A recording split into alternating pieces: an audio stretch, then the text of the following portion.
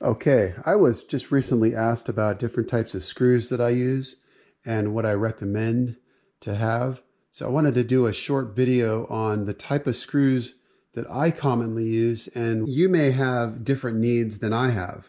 But I'll bet you that over time you'll realize that you probably only need a few different types of screws, but you'll need different lengths of them. And so that's kind of what I wanted to talk about was the different types that I use and the different lengths because the lengths are really going to be important as you connect different uh, thicknesses of material. Okay, this is my toolbox that I take to uh, my jobs and it's pretty cool. It holds my drills and it holds different screws. So I can install pretty much most things with just this box. And I have quite a few things in here. Now, I did a, um, a video on this particular toolbox and what I have in it for um, job site top installations and stuff. So if you want to watch that, uh, you should check it out because uh, you know it covers everything. But I'm just going to go over some of the um, different screws I have in here. Now, when I did that video, I didn't have labels, but I have since changed that and actually put some um, green tape and wrote the uh, links only because it just makes it a little bit simpler for me or anybody that's helping me to know where things go, um, mainly for people that are helping me. But as you'll notice that, um, you'll notice first off that there's a lot of different types of screws in here. And you'll see First off, that they all look similar and that they're all kind of this chrome color.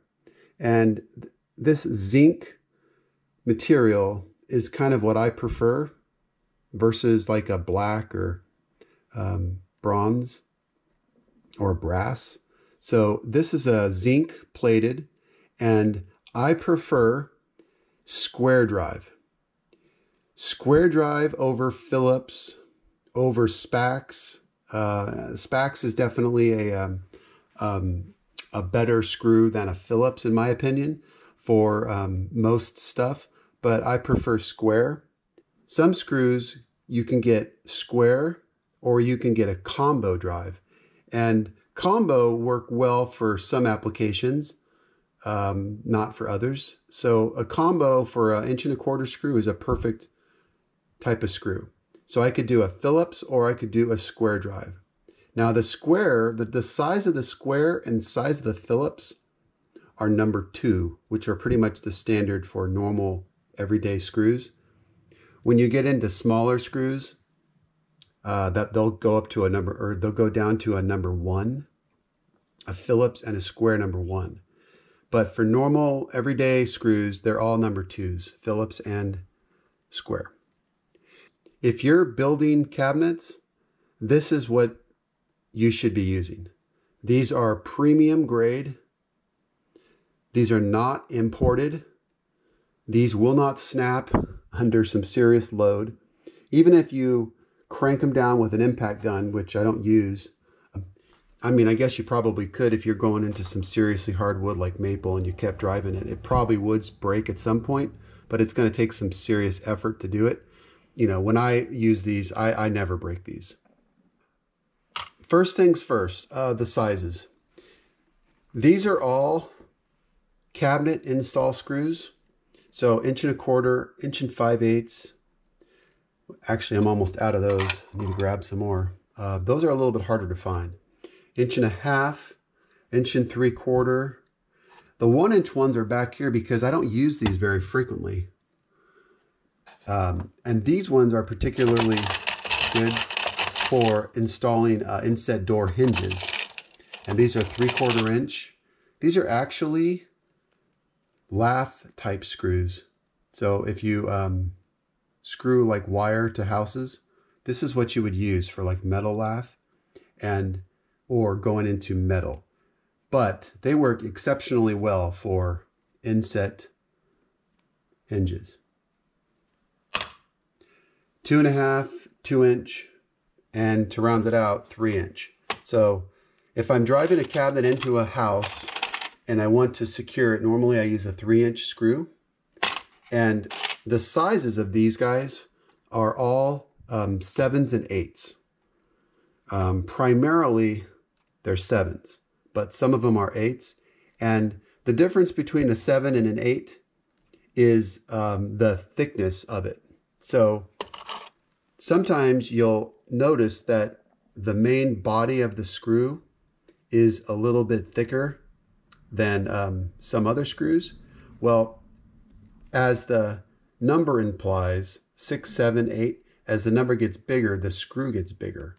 So if you want a thicker screw, you go up to an eight or a nine or a 10, whatever. You'll notice if you go to the store and see the differences, you'll notice the size difference is pretty crazy.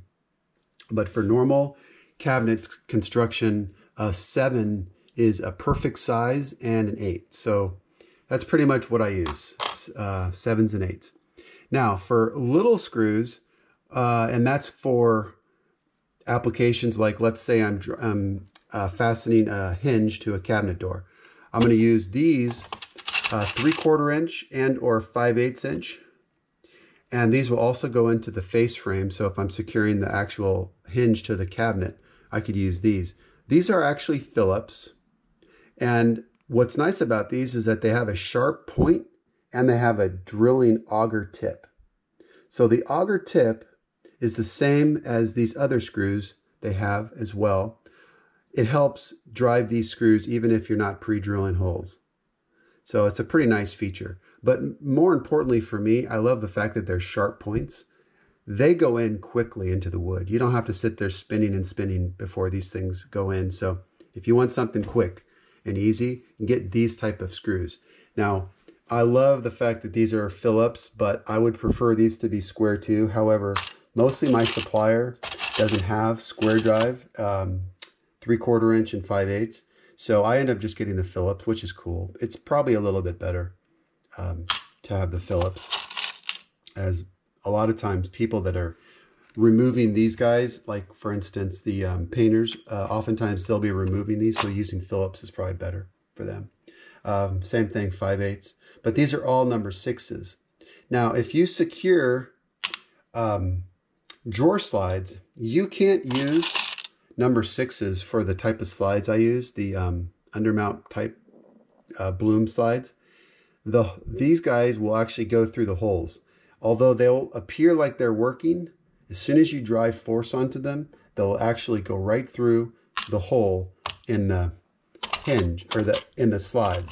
So what I have to use instead are these ones. And these ones have a little bit bigger head. You can see that. If I take the standard size number six right there, and I compare it to the, the number seven, look at the difference in the size. Now, it, let's take a look at the slide. And this is where it gets a little bit tricky, although I, many people, including myself, used to think that number sixes worked with these. And it it's like, oh yeah, they fit perfectly, right? They go in nice and they don't go through. Here's the problem. You may find yourself securing these to a cabinet and think they're nice and secure, but then when you go to put weight on these drawers and or if you tightened them up tightly, you'll notice that they actually pull through. Let's take a look at the number seven in that same hole and you can see that's nice. So that's the way it should fit right in there. And it actually fits perfectly flush as it sits into that little recess and it will not go through. These are my 5 eighths number sevens if I needed them. Um, next it's going to be uh, shelf pins. So, you know, obviously that's not a screw, but I keep these in here as well. So this top drawer is kind of like my main everyday go-to drawer. My specialty fasteners um, are back here, and these are what are known as um, panhead Kreg pocket screws. So they have um, washer heads and they have pan heads. So you can see the difference between the two right there. See how it's a little bit bigger? versus this guy right here. And actually, you can get these in different lengths. Um, I primarily use one inch and one and a quarter, but you can get them certainly much longer than this. And you can get them in different textures as well um, and colors. So these are zinc. And also, they have the same drilling tip, uh, auger tip. I believe that's called a Type 19. I could be could be wrong on that, but I believe it's a Type a Type 19, I believe, um, tip on that. So um, if you have, oh, and these are number sevens for the Kreg screws that I use. These are coarse, but if you look over here, these are fine. The difference is, is that you can tell, um, you can look at the thread and it looks much different. This is a fine and this is a coarse and uh, clearly you can see the difference. This is definitely a little bit bigger. Uh, you can see it's going to probably be a little bit better for um, softer materials. This one is better for harder materials like let's say maple and oak uh, going through some really hard wood. This is kind of what you would want to use, a fine thread. At least that's what I find. Um, the coarse thread I use primarily for um, softer woods like poplar and alder. Um, pretty much all face frames I build, I use the coarse thread, but occasionally I'll have to switch to a um, fine thread. And they're, they're um, both, again, number two, square drive. I love that. Um, there's one more thing I wanted to point out on these screws. If you look on the head of them, there's little bumps. And these little bumps are called nibs. Isn't that a funny name? Nibs will countersink itself. As you drive this in, it'll actually start driving in and you'll literally start cutting the wood as you go in and you'll find yourself trying, the screw will find itself trying to counterbore itself. So if you don't have a hole pre-drilled, Oftentimes with these screws, you can actually counterbore. Just be careful though, it's not going to leave a very clean hole. So it's something that you're doing. Um, it's probably going to be in an area where you don't need, need a clean hole. When I get to a job and let's say there's drawers involved or handles or knobs, which is pretty typical. So I have a selection of different lengths that I use. One inch for doors, standard issue. One and a quarter inch for certain uh, drawers, one and a half, one and five eighths, one and three quarters, and actually this area here has got some um, Euro screws and there's also some two and two and a half inches in here because sometimes you get to jobs and you just never know.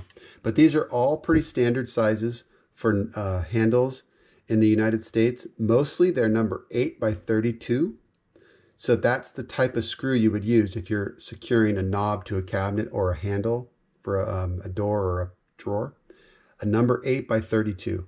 So these are so standard. These are not metric. If you have uh, handles from, let's say, Pottery Barn, they will give you metric, and those are metric handles. So you cannot use the standard imperial um, screws like 8 by 32. You have to get metric for those. Just a, just a note on that. Okay.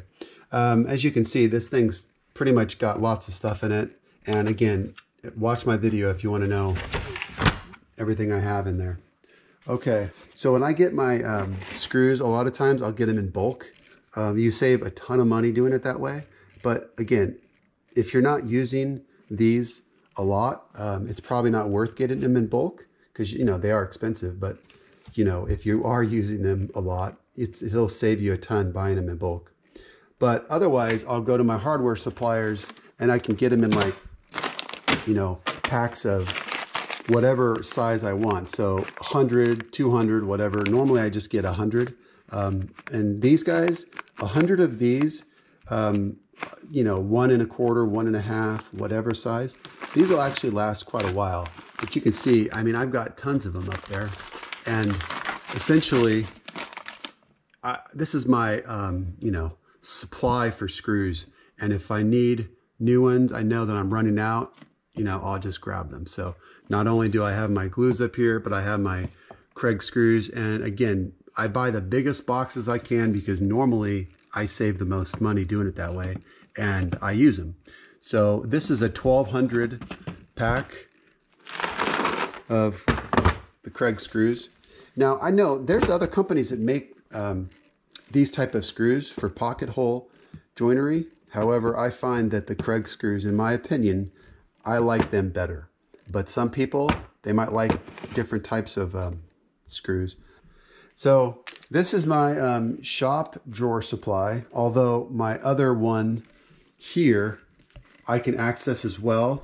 But it's really a nice thing to have, a nice organized setup for your um, hardware.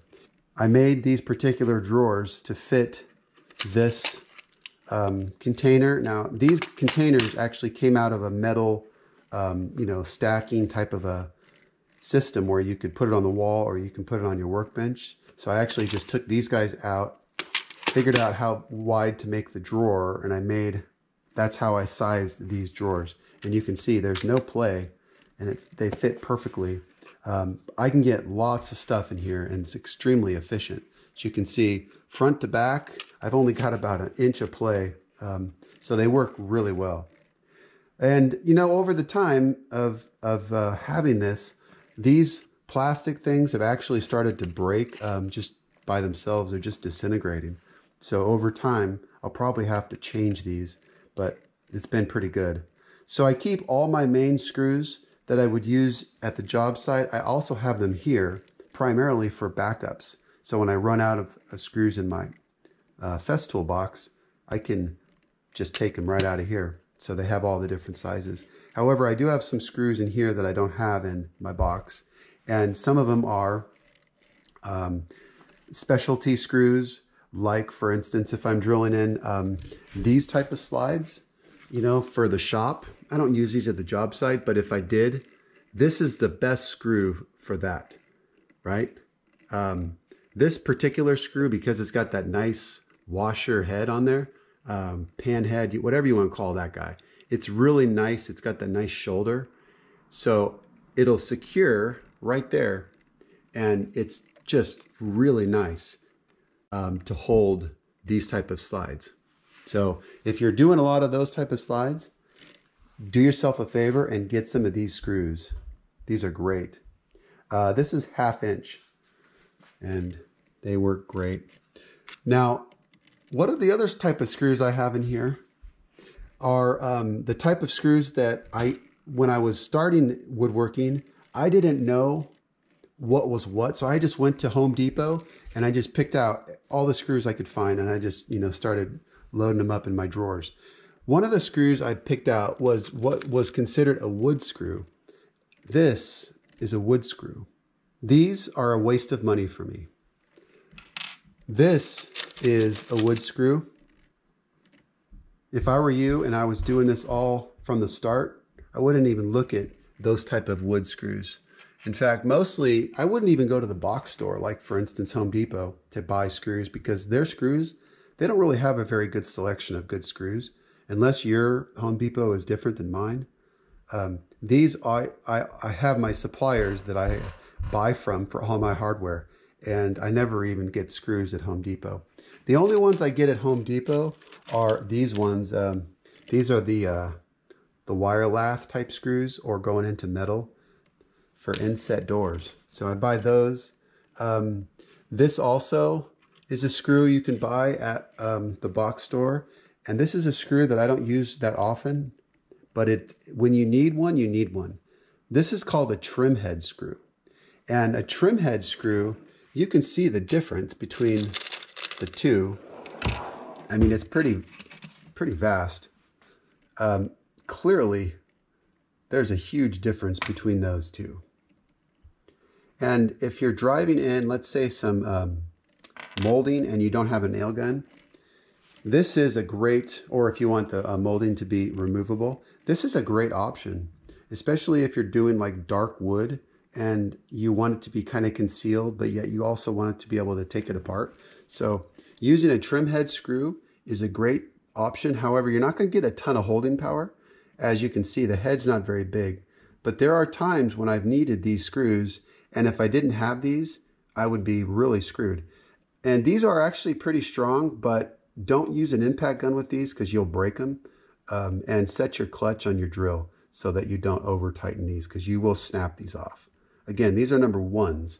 So you can see the difference between those two sizes. One's a number one and one's a number two. Yeah, when you use a number one, uh, it kind of throws you off because you don't have, um, there's a couple things I don't have for number ones.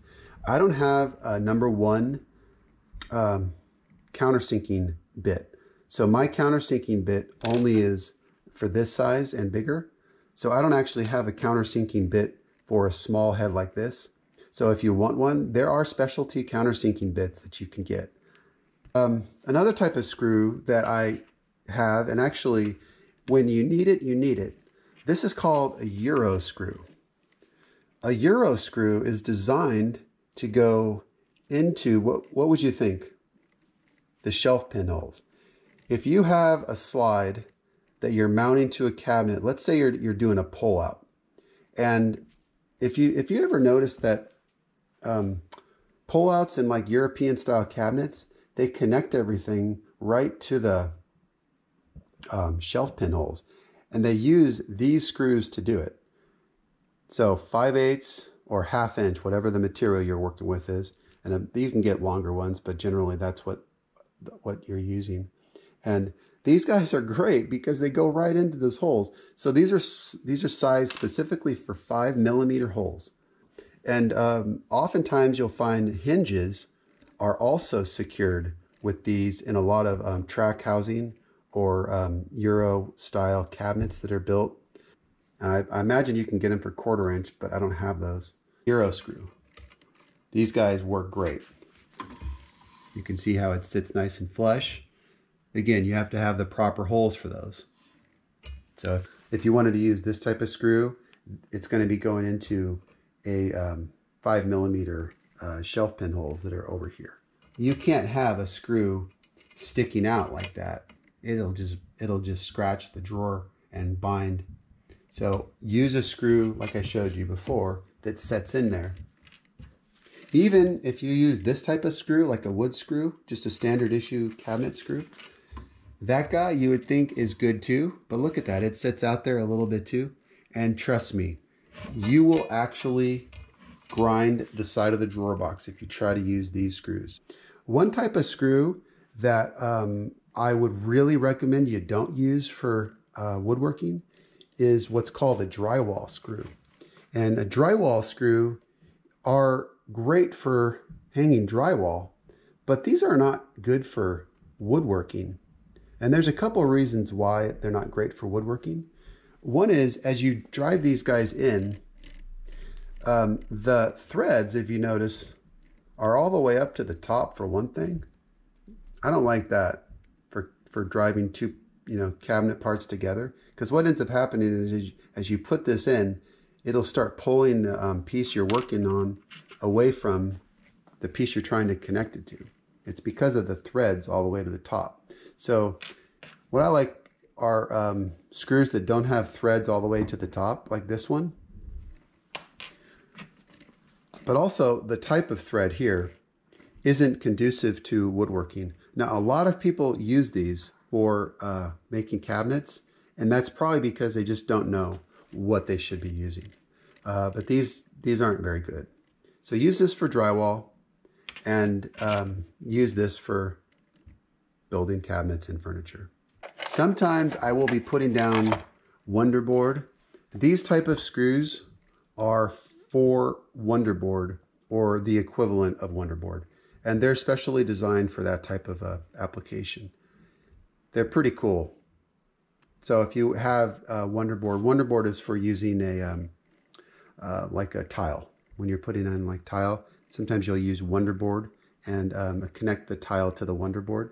So, but the Wonderboard has to be connected to the floor, and that's what these screws do. And now these I do get at uh, the box stores. I mean, there's a lot of type of screws I didn't talk about, but they're not typically screws that I use regularly.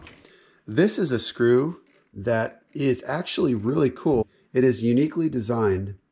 It's a big washer type head, so it gives you a lot of holding power. But what's unique about this is that as you drive this in, if you use a, a um, an impact gun to drive your screws in, this will sink itself and then it'll go flush with the surface. And then what's cool is that they actually have um, plugs that you put on here and they stick into that square drive recess and they're, um, they're flush. Uh, however, I don't use these on jobs. I use these primarily in the shop for um, holding cabinets to the wall or, um, you know, hanging things up on the wall because of the big uh, head on it. I like this uh, to hold stuff on the wall, but I don't normally use this for cabinets. Uh, but if you did want to try, these are really cool. Uh, the company that makes these is uh, FastCap. One more screw I wanted to talk about is a what's called a drawer front screw. This has a special purpose and you can use pocket screws for attaching drawer fronts. I do a lot, but if you need more adjustability in your drawer front, this is a great alternative to um, using uh, Kreg screws or, po or pocket screws. The head is bigger, so what you do is you drill a bigger hole, and when you attach your drawer fronts, it gives you room to move the drawer front and adjust it so it's a perfect uh, reveal all the way around. But um, and these happen to be um, Phillips drive. However, they do make them in square drive. But um, these are great though, auger tip, and I find these really nice. Um, but oh, another type of screw that's cool is a um, are these little guys right here, and these are a little three quarter inch. They're self drilling. So have that same auger tip, and these are number twos, but it's a very small uh, number six size, and I think it's really cool these guys because if you have things like that are dark that you're fastening, um, I use these a lot of times on jigs, but also th this is the main screw that I use for my tracks because in this material, this guy here goes in there nicely and it sinks in there nicely. So if you're wondering how to secure a lot of these tracks down, you got to have to use a smaller, sometimes you have to use a smaller head screw and these work perfectly. So that's what is securing all my tracks to the uh, workbench here. I think I got these at, at Rockler um, and uh, Woodcraft. Those two stores carry them. Okay. Well, if you think of anything, if you have any more questions, uh, just let me know. All right. Have a great day.